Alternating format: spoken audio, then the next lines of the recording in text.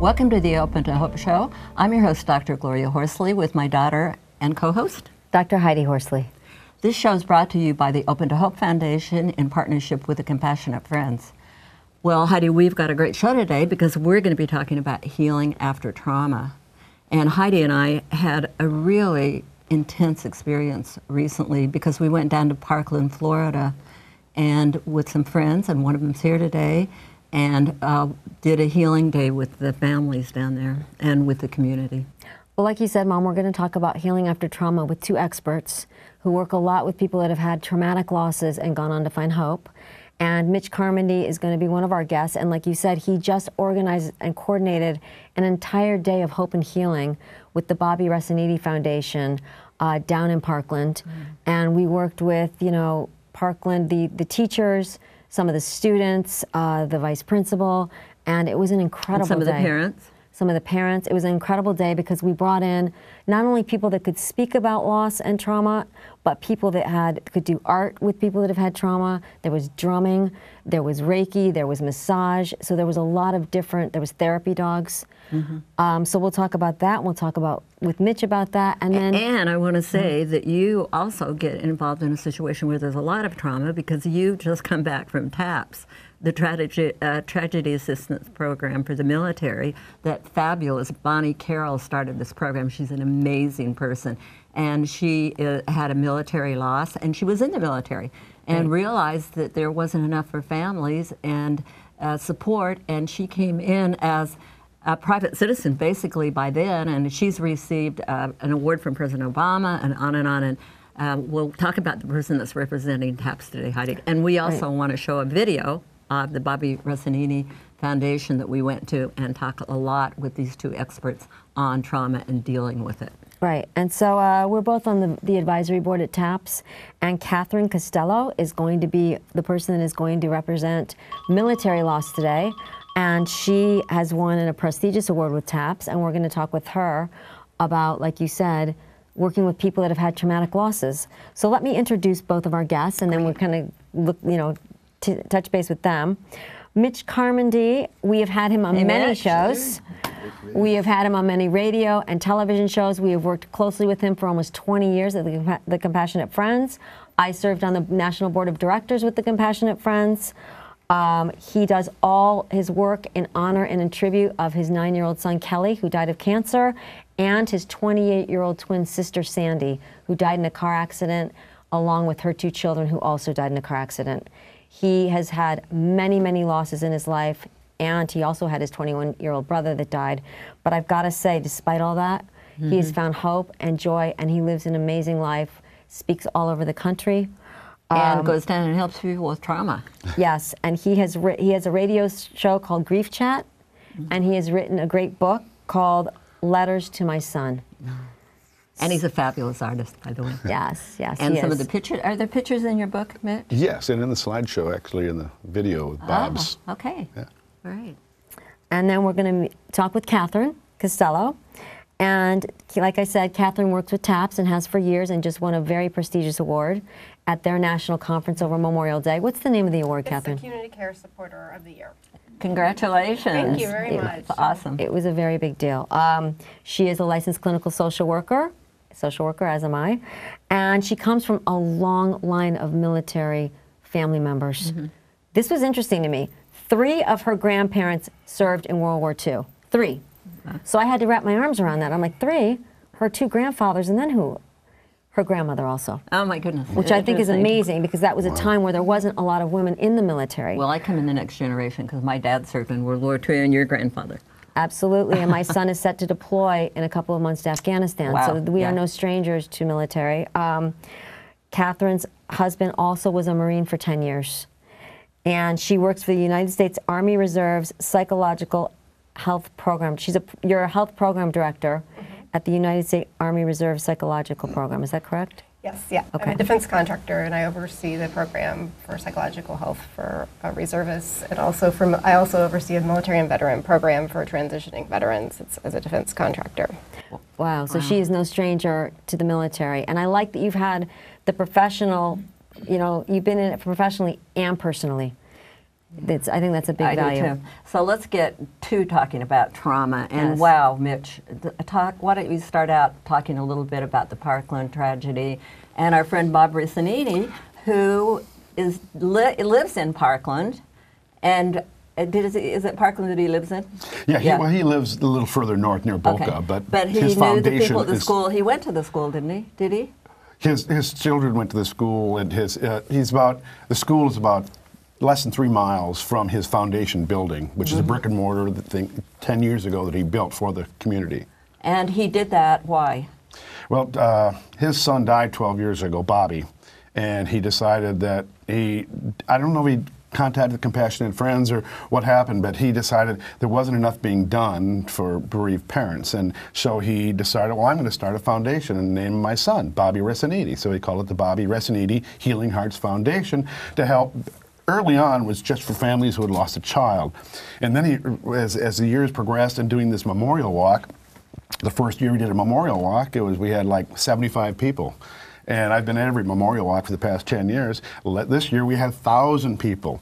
And initially it was just children who had died. But now we have every any loss. I mean, there's dogs and there's horses and there's any loss it have that people can once a year put a thing in the ground and say, you know, I want to mem- rem- So this year, when did you get the phone call from Bob that this has happened down in Parkland? Oh, that was uh, an amazing thing because I was doing a cross country tour with Alan Pedersen on the Angels Cr- Across America tour, and he we drove from San Diego to uh, Orlando. All the way across the southern U.S. And when on the way there, we stopped at um, in Sutherland Springs, where the 26 people were murdered in the church, and and we had we, we went and talked to them and they allowed us permission to go into the church actually and uh, it see and I saw this church was just painted solid white with 26 white chairs with a red rose on Yeah. each chair and there was no but that was it in the town. No one talked about it. Very small town. It, ju- they made a memorial, but there was didn't seem any hope or healing in the town. It just seemed so empty, like a ghost town. And so when I left there and all the way across the country, I kept thinking about that. And then we went on a, a I do a bereavement cruise too, Yeah, well, tell me, tell me not to not to interrupt you too much, but when did you get the call from Bob? That's when I said, I'm on the bereavement Where are cruise, you? right there on Okay. the cruise ship, and I'm ready to ready to leave the cruise ship. On, and Bob calls me because he, he said, "Mitch, you hear what happened?" He's Italian, so he talks like that. He said, "Mitch, what happened?" Well, I mean, look what happened February 14th. And he said, "This is my hometown. He, what are we gonna do?"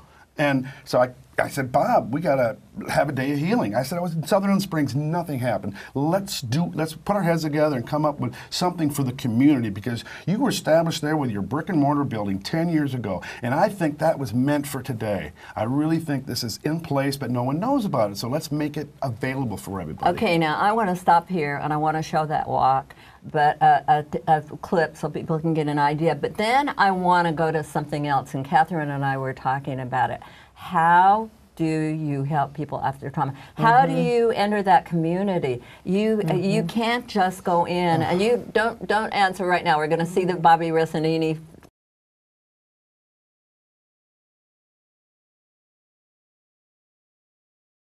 clip right now because he's in that community and I want people to see what Bob has done in honor of his son. It's an, and his wife, by the Yes. way. It's not just and his family. Oh, yeah, Diana, Michelle, yeah. and Nick. Yeah, the whole family has done this to honor other families. So let's watch that and then let's talk about can you just get in your car and drive off somewhere and uh, I mean people well, uh, the people up in Sandy Hook were telling me that, that people sent them all these old clothes and all this stuff. I mean, what do people need? Can you go into communities? Let's talk about how that oh, happens and, and how people watching this show can actually help friends and family deal with trauma. So let's see that clip now.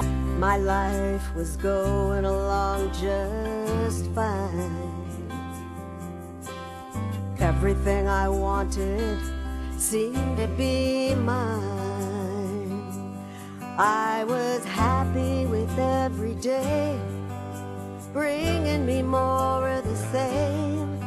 How quickly things can change when someone you love is taken away. I know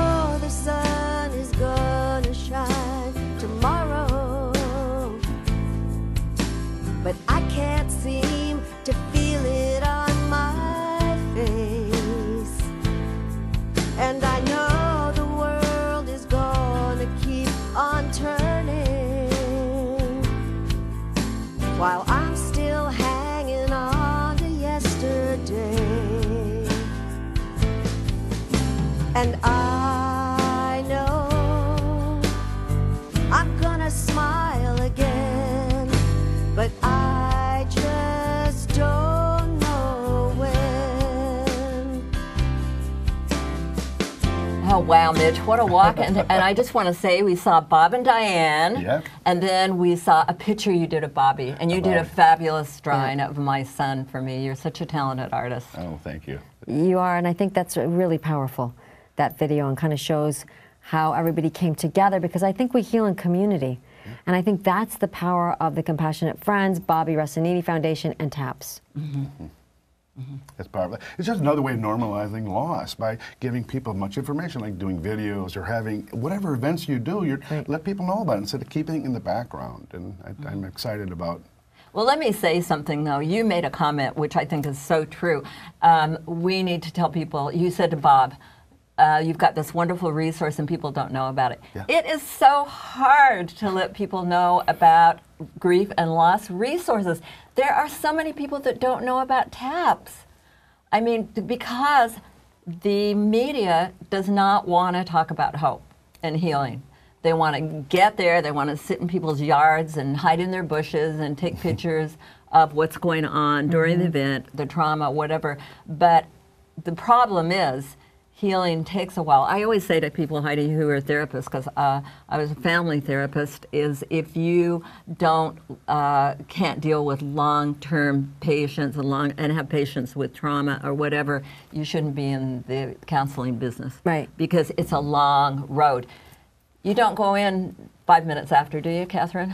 No, it, and some people aren't ready to talk yet. They need some time. Um, and so it, it's knowing that you need to touch base, go back in again, check on them, see how they're doing, and recognize the signs and symptoms. You know, if they're not eating, they're not sleeping, if, you know, if you notice that they're struggling, um, reach out. And, and um, But sometimes it takes people a while. They're not always ready to right away talk So, about the so Katherine. I'm interested. So you work with military families that have had a loss, Yes, correct. I, and do you also work with the military? yes, correct, yes. Okay, I think this is interesting because in the military, there's kind of a stigma against seeking professional help. So I didn't know how you work with people when they, they first come in and, and you know make them feel safe and like you're not Sure. pathologizing them. Yeah, and it is a real challenge. There is still a real stigma around it. The, the military um, and veteran population are doing a good job of trying to get rid of that stigma, but it still exists, unfortunately. Um, a lot of people will seek help outside of the actual military community because they feel safer in a community um, in a community provider setting versus the military. Uh, so it's letting them know resources are available and that it's a strength to reach out. That reaching out is um, that having the courage and strength to reach out. Is, just like if you had a you know broken bone, you'd go and you get the broken bone fixed. So we're really trying to reduce that stigma and help people know that reaching out and getting help can help you heal. So, so we're looking at trauma. I just have one more question. We're looking at trauma today, and I'm thinking the Parkland situation and the military dying in action. Those are those are murders. Yeah. So what I wanted to know is what do you both think is how do you help someone after a murder, and what do you think is unique in healing after the murder of a family member or friend? What what is unique Why about don't you start with Mitch on that? Uh, it's uh, it's like the- not rushing in. I think you, it, um, I noticed that when we went to Sandy, Hound, Sandy Hook twice, and everybody was paparazziized and hidden. And so I, I think it's to, like in Parkland, we did body, mind, soul, and spirit. We had four villages, one for each one. And all, as you noticed, that we were down there, and all the people that went to the different villages, but the body village was packed. You couldn't even get in there. And yet the talk therapy uh, village was almost empty. That's And such a good point. it showed that three months out, where they were three months out, that they were gravitating to where it was safe. They didn't They're have just to trying to breathe, They're trying to breathe. And the benefit of that is that once they have good body work, there's so much internalized that it starts to come out. Then it kind of primes the pump. So then they can do some talk therapy So- because so- now it's coming up. Okay, So now I Mitch, can when talk you say about when you say the body village, what exactly was that? We, you had I was there, so you had you had art therapy. Yeah, we had the healing for the art, hearts, heart, You heart had- and art therapy, and then we had the, the healing haven, which was for body. We had Reiki, and we had massage, and we had meditation. meditation, we had yoga, so that people could just go and just just feel and let the body And not speak. Let's not speak. Just let the body You had recognize. to, and there was drumming.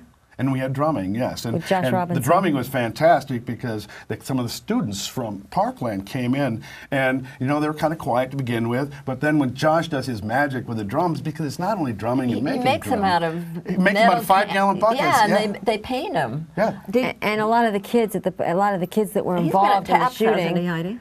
I don't, I'm not sure, but Oh, a, a lot of the kids, a lot of the kids that were involved in uh, the shooting were there, Yes, and after and they were kind minutes, of oh, drumming were- with them. They were smiling and laughing, and because he was saying, "How do you? If you can't communicate from here, you can communicate with the drums, Right. you know." And so you can get that anxiety out, you know. And it it was amazing to see the transformation of these young kids who were just kind of shy, and by the end they were laughing and go, you know, just. hey, yeah. let's give a shout out to him. What's his last name? Josh Robinson. Josh Yeah. Robinson. Yeah, You can go online and get him to come to your events. he is a, a wonderful soul Mm-hmm. and really is into healing. So, Yeah. Katherine, tell, give us your comments. I know that uh, you do fabulous things at TAPS, these camps and all that kind of thing. Yeah, I, I've been very honored to work with TAPS um, and work with families with the traumatic loss and grief and see the strength, real strength in that community. Now, one of the things that happens in the military when there is a traumatic loss is they lose their community because um, they have their, the military is their family per se because you know they're moving from location to location and they really become their support system and their communities. So when they are when they lose someone, they very well could lose that community on top of it. And TAPS really has done an excellent job of becoming that community and that family um, that understands and helps people feel less isolated through their trauma. Now, people have to move after a year, Yes. right? Mhm. Don't they just give them a year? Yes, yeah. Uh, and they have to leave wherever they are and be out. And uh, That, that's a huge really loss because here you've had a death, and then you it's almost an identity loss. Right, And yes. losing your community, Yeah. all at the same time, which is pretty big. And, and the problem is, I found with, with Scott when my son was killed, is that Heidi went back to college and nobody knew him. Right. You know, and I was just thinking if you had that same kind of military kid kind of thing, even and, though. and it's a blessing and a curse because you know we want people to recognize we want people to give us attention and recognize us and give us acknowledgement and validation but then sometimes we want to be away from it too. We kind of want moments where we take breaks. Um, it was very surreal though and strange. I mean i was 20 when my brother died and people wanted me to grieve for about two weeks and then i was supposed to be back in the sorority acting like a normal quote unquote college student who hadn't had a loss. And that was never going to happen again because I was profoundly changed, as everybody is. Um, I think one of the interesting things about murder, and I am going to keep bringing it up to that because that's kind of a word that we want to skirt around. When I worked with the fire department after 9 11, I worked with the families for 10 years in the FDNY. And I was very hesitant to say that their firefighter husbands and fathers had been murdered. Mm-hmm. So I would say that they died in the trade center. And the families took issue with that. And they said, Heidi, they didn't die in the trade center, they were murdered. You have to use that word because that is impacting the way that we're mm-hmm. grieving. We're very, very angry about what happened, and we have to be able to address that piece. And I wondered if wo- working in trauma, you've seen that. I've got to stop one thought Yeah. before we, we move into that. These are families. Uh, when you ask that question, Yeah. it's military families killed in active duty. Right, exactly. Because there are many ways to die in the military, and that that is also a problem. I've heard is that. Um, there is a hierarchy about how you died. If you died on a motorcycle on leave, Mm-hmm. or if you died of cancer, or whatever, uh, you don't quite get the you know, you don't get the you know the badges and, Mm-hmm. and whatever. So there's that. But let's stick with the people who are killed in active Yeah. duty because I think That's that's, a a, good good question. But I want everybody to know in the military we recognize you know you All and your loss and, yes. your, and the sacrifices that your loved one have made. Bec- be, just because they weren't killed in active duty, it doesn't mean we don't totally value them. So Yes. as, yeah, let's as move civilians, we do, and as civilians, I didn't think it mattered, because to me, if somebody dies, they die. But when I went into the military environment, they were like, "Heidi, it matters in the military." I said, "That's interesting," because as a civilian, it doesn't matter one way or another to me. Right. Your your person served, and it was an amazing, admirable thing, and they died. So. Yeah. yes. So anyway, good. You go on So with that. yeah, so so back to the, the question of what? What, was my question? You were About- asking them what would their take on uh, yes, murder. Yes. Do you see that people are, that's a piece of it? I, I definitely see that people wanting to make sense out of the loss. Okay. Now, sometimes with the military, because they serve, there's a great deal of pride in that. Mm-hmm. um, but I also think the making sense out of it still really exists, Mm-hmm. and um, the shoulda, woulda, couldas of you know of the process. And then a lot of times there's not a lot of information. Um, they, they may not get the information, or they may not get their loved ones' um, remains back. So there's a lot of questions that are there around a traumatic um, loss. And also, uh, I was talking to somebody whose son was killed on active duty, and she said one of the problems was that um, she couldn't talk to the people that died with, that lived, that saw him die. The military uh, talks to them, debriefs them, and they're only allowed to say certain things. Right. Because it's, it's, there's so much confidentiality when you are in the military. And, and she said it was so hard because they weren't. She knew they had more than they Right. were giving her. So there's that. I don't know secrecy component, which is also with the World Trade Center when these guys are flying airplanes in. I mean, the government wasn't talking about that for quite a while. How it happened, who they were. Now, now they're gleaning. You know, they glean more information. Now there are movies made on it. But there's a lot of secrecy com- around grief and loss. Mm-hmm.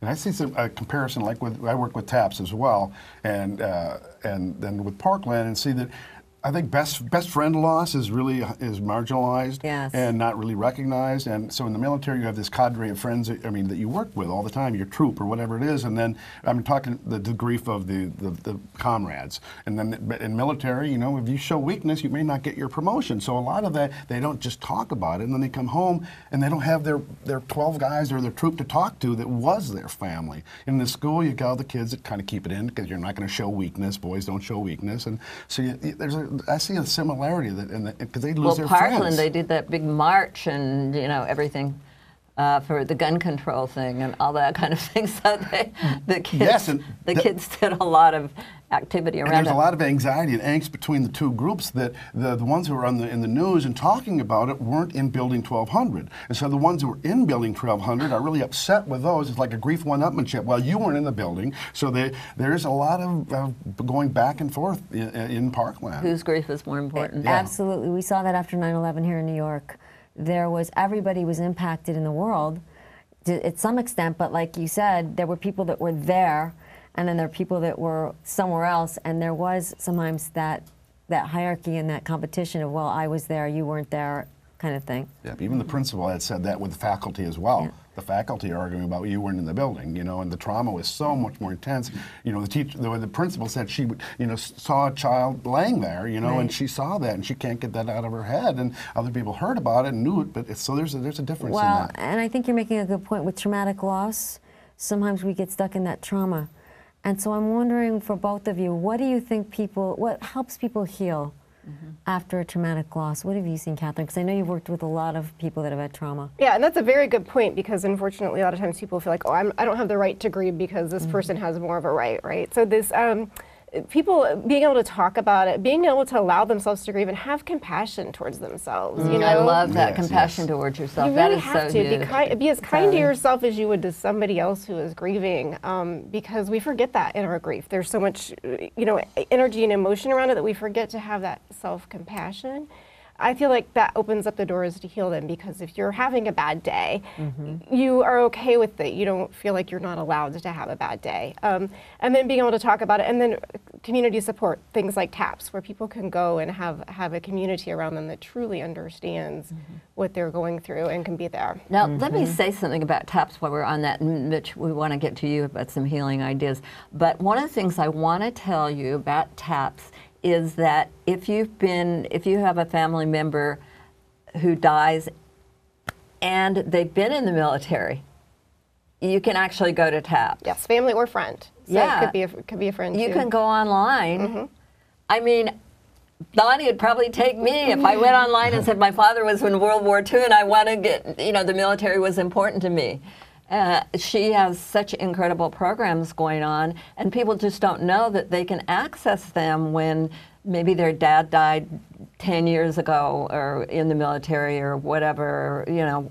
And they can go online and uh, Yes, look at TAPS. it's open to family, friends who have lost someone, and um, you know they offer hope, healing, um, and help, and that's the, that's what they're and they really get out to take do. great trips. they do that They do. too. they do. They take Healing great retreats. trips, healing They, they just took one to Sedona, which I thought was Yeah. amazing because that's such a healing place. And they do such a great job with the, the kids. Oh, So, do you want to give us some t- some of your tips for healing? Uh, yeah, I, c- I call it proactive grieving. You know, just take this. You are the CEO of your grief, and and do. I like that, Mitch. I'm the not CEO of my grief. Don't, uh, you know, don't let anybody tell you how to grieve. And I always say, shine by example. You know, Ah, let people look at you because you can't make someone do something. You can't make a horse drink water, and that's true. You can't make someone grieve like you want them to grieve. But th- you want them to look and look at you and say, well. Wow, how is he doing? 30 years later, all these losses, how's he doing? They, then they ask me, instead of lecturing at them, just instill a curiosity of how you survived. And that, because then you're not pushing, then they come up and ask you, and then then it's their prerogative. They're making the motion to move forward instead of pushing them forward. That's great, Mitch. Well, how do we find you on the internet? Uh, my uh, stu- uh, heartlightstudios.com is my website for. Uh, I did Heartlight Studios because my son loved ET, and so after he died, I had to do the Turn On Your Heart Light, which is the kind of the basis of proactive grieving is turn on your heart and let that heart shine for everybody. And so you can just go to my website or Facebook. I have a Mr. Heartlight uh, YouTube as well. So I made all these I 50 videos for uh, on how to handle grief and loss, and you can watch it 24/7. Great, thank you, Mitch. And Katherine, how about you? How do we get a hold of you? Um, I actually, uh, through Awaken Wellness Center, that's where I've been doing um, for the past 15 years, the majority of my work with traumatic loss and grief um, and trauma. So that's the best way. Okay, say what it is again. Awaken Wellness Center, like Awaken, um, A W A K E N Wellness Center. Wellness Center. Okay, well, you guys are awesome, and it's great to have you on. And if you had one last piece of advice for those of grieving, what would it be? Um, give yourself time, and I like what you said. You know, know that there's it's an individual process. Yeah. It's truly individual. That's what I was going to say. Nosce te ipsum, the Latin for know thyself. Find out who you are as a person, then you know how to handle it. Draw to your strength. Thank Love you so much for being on the show, Thank guys. you. That was wonderful. Well, what great guys to have on today, huh? I love it. I love it. And I think uh, one of my takeaways is, you know, there's alternative. We need to take care of our bodies and tr- and work the trauma out of our bodies. Yeah. In- uh, in any way that works Yeah. for us. Yeah. Yeah. Well, thanks everybody for watching this show today. And Heidi and I always want to remind you that if you've lost hope, please lean on ours until you find your own. And we hope that you'll let everybody know about Open to Hope because Misha was saying that people just don't know enough about what's going on out in the grief and loss world. And we've interviewed thousands of people, and you can find it at opentohope.com. So please tell at least one friend about it this day, and God bless.